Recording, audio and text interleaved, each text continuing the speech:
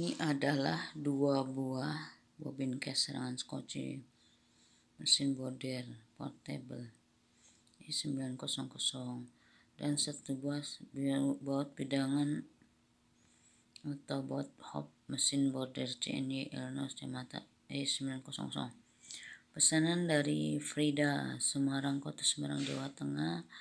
Transaksi Tokopedia jasa kirim Alin Zakia Purwokerto Selatan Jasa kirim menimbulkan Legend Yes. Ini video sebelum dikirim dan dikemas. Terima kasih. Ditunggu orderan selanjutnya.